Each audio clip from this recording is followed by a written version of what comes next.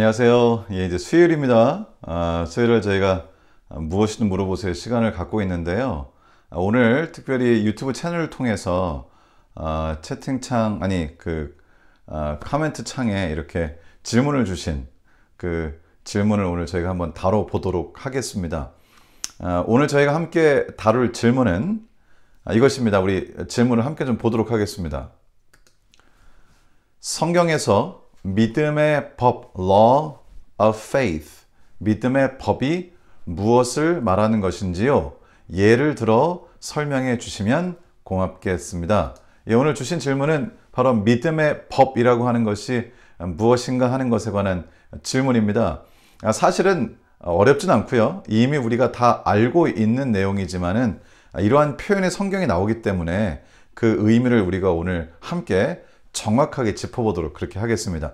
먼저 기도를 통해서 우리를 진리로 이끄시는 성령 하나님을 구하고 함께 이 말씀을 좀 나눠보도록 하겠습니다. 기도하겠습니다. 사랑하는 하나님 아버지, 은혜를 주셔서 저희가 주님의 말씀으로 함께 주님의 뜻을 이해하고 그리고 또 특별히 오늘 믿음의 법에 관한 질문을 어, 답해봄으로 하나님께서 우리에게 원하시는 것이 무엇인지를 또 분명하게 알 수 있도록 기회를 주심을 감사합니다. 성령으로 저희를 인도하시고 오늘 말씀을 통해 우리의 생각이 주님의 생각에 조금 더 가까워지는 귀한 시간이 되도록 축복해 주실 줄을 믿사오며 예수님의 이름으로 기도드리옵나이다. 아멘. 예, 그러면 일단 이 성경에 믿음의 법이라는 이 표현이 나온 성경절을 함께 좀 아, 찾아서 읽어보도록 하겠습니다. 사실 이 표현은 성경에 많이 나오지 않는데요.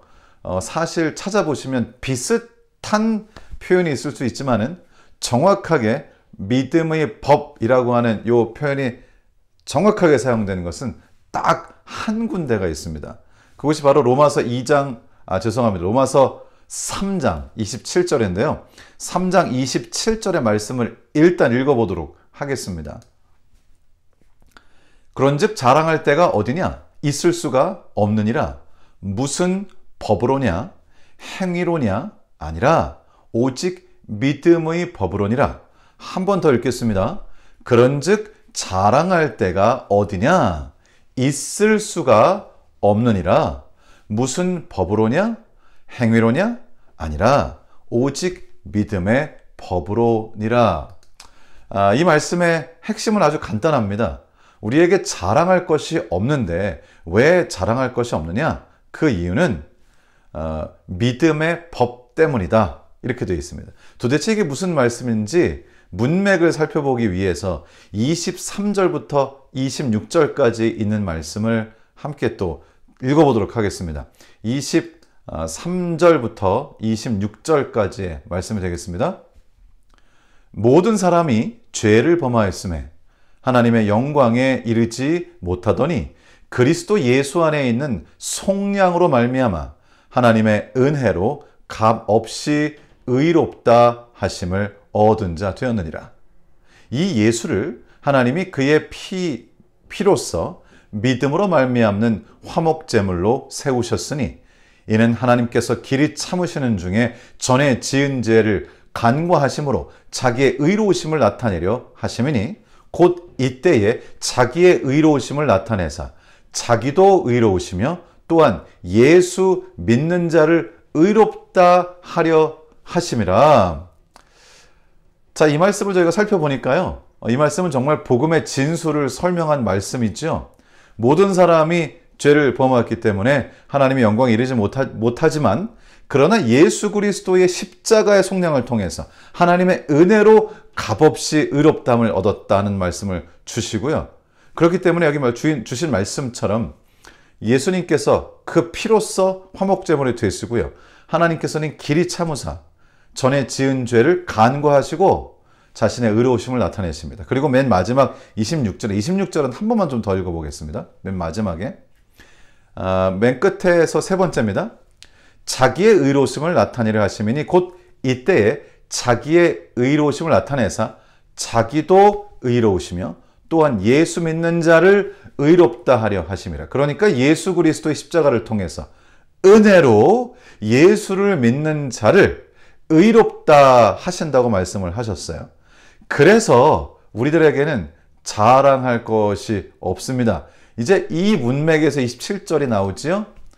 그런즉 자랑할 때가 어디냐? 있을 수가 없느니라. 이제 우리에게는 자랑할 것이 없습니다. 왜냐하면 예수님께서 돌아가셨고 예수 그리스도의 은혜로 말미암아 그저 우리는 그것을 믿음으로 의롭게 된 것이죠. 우리에게는 공로가 전혀 없습니다. 그래서 여기 자랑할 때가 있느냐 물어본 다음에 자랑할 것이 없다. 있을 수가 없느니라 라고 하셨는데요. 이 부분을 어, 원래 성경에 써 있는 말, 또 영어 성경을 함께 보시면 이렇습니다. 있을 수가 없다. It is excluded라고 되어 있습니다. 그리고 그 바로 밑에 그러니까 이, 아, 고전에 excluded라는 말은 배제된다. 완전히 이거는 있을 수가 없다. 정말 완전히 이, 그, 이 자랑이라는 부분에 대해서는 완전히 배제되어야 한다. 그래서 어, 헬란 말로는 그 바로 밑에 에클레이오라고 되어 있는데요. 그 뜻은 shut out입니다.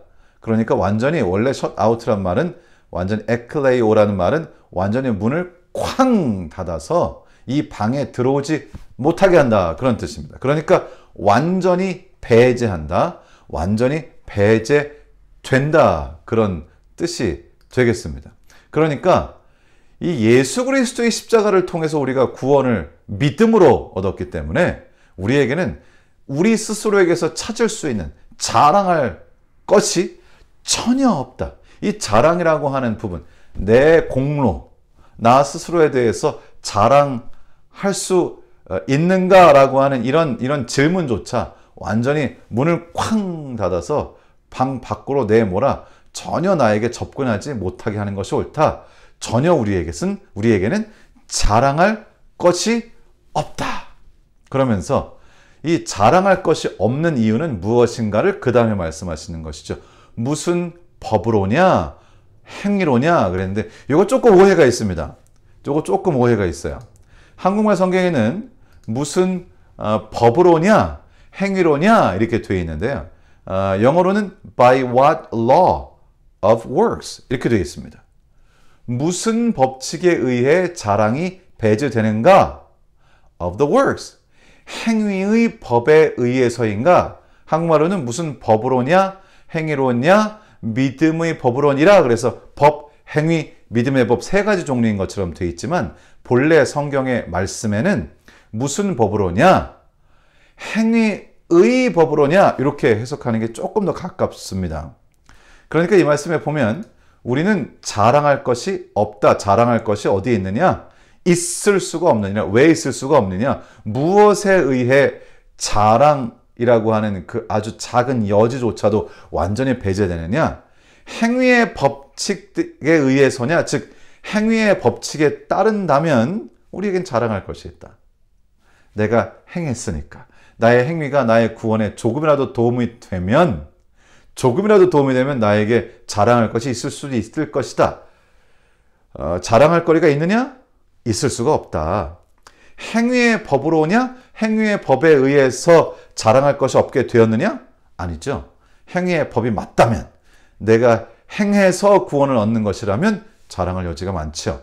그러니까 행위의 법에 의해서냐? 아니다. 믿음의 법에 의해서다. 지금 그렇게 말씀을 하고 계신 것입니다.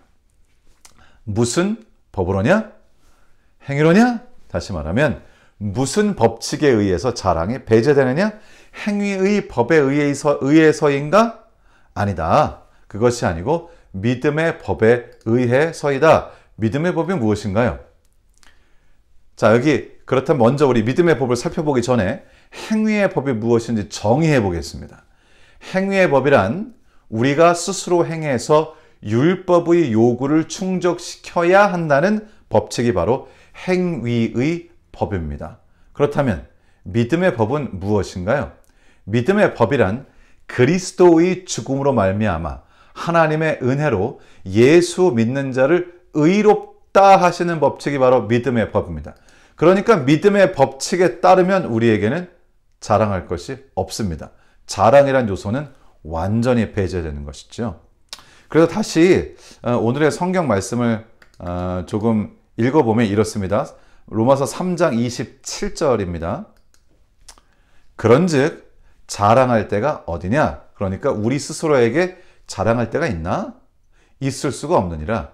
아, 결코 우리 스스로에게 자랑할 것이 전혀 없는데 무슨 법으로냐 행위로냐 여기 조금 어, 조금 혼란이 있었죠? 무슨 행위의 무슨 법으로냐 행위로냐 이 하나가 좀 더 붙으면 조금 도움이 되겠죠? 무슨 법으로냐 행위의 법으로냐 아니라 그러니까 행위의 법으로냐 행위의 법이 맞다면 맞다면 우리가 자랑할 때가 있겠지. 그러니까 행위의 법으론 아니다 라고 지금 그렇게 얘기하는 것입니다. 그래서 자랑할 때가 없다. 자랑할 것이 없다. 행위의 법에 의해서는 그렇지 않겠지만은 오직 믿음의 법에 따르면 우리에게는 자랑할 것이 없다. 그러니까 행위의 법은 옳지 않고 믿음의 법이 옳으며 그것이 하나님께서 사용하는 법칙이다. 그렇게 말씀을 하시는 것입니다. 그래서 뭐 믿음의 법이라는 용어를 썼지만 아, 믿음의 법칙이라는 말이 조금 더 이해하기 쉽지 않은가 생각이 들고요. 오늘 주신 질문, 믿음의 법이라는 것이 무엇입니까? 무슨 뜻입니까? 믿음의 법이란 뭐라고요? 그리스도의 죽음으로 말미암아 하나님의 은혜로 예수 믿는 자를 의롭게 하시는 법칙이 바로 믿음의 법칙입니다. 놀라운 법칙이죠. 우리가 믿으면 그것을 의로 여겨주신다고 하는 법칙입니다. 이 법칙대로 살아가는 우리 그리스도인들은 자랑할 것이 전혀 없습니다. 어떤 예가 있을까요? 뭐 예가 너무나 많죠. 성경에도. 예를 들어 아브라함이 아브라함이 하나님을 믿음에 이를 의로 여기셨더라. 아브라함에게는 자랑할 것이 없습니다. 바울은 그리스도인들을 핍박하던 사람인데 예수 그리스도를 믿음에 사도 바울을 의롭게 해주셨고요. 그래서 사도 바울은 자랑할 것이 없습니다. 아무것도 내세울 것이 없습니다. 자신의 모든 것을 배설물로 여긴다고 말씀을 하셨습니다. 저도 마찬가지입니다. 저에게는 공로가 없고 저의 행위가 저의 구원에 아무런 어, 기여를 하지 못하지만은 예수 그리스도를 믿음으로 말미암아 구원을 얻었습니다. 예수 그리스도께서 재림하실 때 나의 공로가 아니라 예수 그리스도의 공로로 새 예루살렘 성에 저는 이를 것입니다. 그래서 오늘 주신 이 질문 믿음의 법칙이 무엇인가? 믿음의 법이 무엇인가? 그리스도의 죽음으로 말미암아 하나님의 은혜로 예수 믿는 자를 의롭다 하시는 법칙이 바로 믿음의 법칙인데요. 오늘 함께 하신 모든 분들은 율법의 법칙, 내가 율법을 지켜 구원을 얻겠다라고 하는 율법의 법, 아, 이것, 이것, 아, 죄송합니다. 행위의 법. 행위의 법, the law of works. 행위의 법. 이 행위의 법은 우리를 구원, 우리에게 구원을 가져다 주지 못하고 행위의 법은 없는 법입니다. 행위의 법은 잘못된 법입니다. 마치 마치 물리학의 천체 물리학에서 예전에는 빛이 똑바로 간다고 알고 있었는데요. 알고 보니까 빛이 휘더라고요. 중력에 의해서 빛이 휜다는 사실을 발견하면서 이전에 빛이 똑바로 간다고 생각했던 이 법칙은 이제는 없어졌습니다. 마찬가지로 저희가 이제 이 law of works 행위로 말미암아 구원을 얻겠다고 하는 행위로 율법의 요구를 충족시켜서 구원을 얻겠다고 하는 이러한 법칙은 틀렸습니다. 없습니다. 그래서 행위의 법이라고 하는 것은 이제 틀렸다. 믿음의 법 그리스도의 죽음으로 말미암아 하나님의 은혜로 예수 믿는 자를 의롭다 하시는 법칙 이것이 옳다. 이것이 주님께서 우리에게 주신 법칙이다. 예, 그러므로 저희가 믿음의 법칙 안에 살아가야 되겠죠. 오늘 제가, 제가 오늘 들은 말씀이 여러분에게 조금이라도 도움이 되었으면 좋겠고요. 모든 분들이 믿음의 법으로 살아가시기를 주님의 이름으로 축원합니다. 기도하고 마치겠습니다. 사랑하는 주님, 오늘 또 이 질문을 다루면서 우리 주님께서 저에게 얼마나 큰 은혜를 주시는지, 저에게는 공로가 없고 자랑할 것이 아무것도 없고 온전히 주님만을 자랑하며 믿음의 법, 그러니까 그리스도의 십자가의 죽으심을 통해서 하나님의 은혜로 믿는 자를 의롭다 하시는 이 법 안에 저희가 삶으로 나에게는 자랑할 것이 없으나 예수 그리스도를 높이고 주님을 자랑하는 것으로 우리의 생애를 채울 수 있도록 하나님 저희 삶 속에 역사하여 주시옵소서. 남은 오후도 저희와 함께 하시며 오직 저희의 믿음의 법 안에 살아가는 삶을 통해 하나님께서 영광 받으시기를 우리 주님 예수님의 이름으로 기도 드리옵나이다. 아멘. 예, 감사합니다. 좋은 오후 되시고요. 또 내일 뵙도록 하겠습니다. 고맙습니다.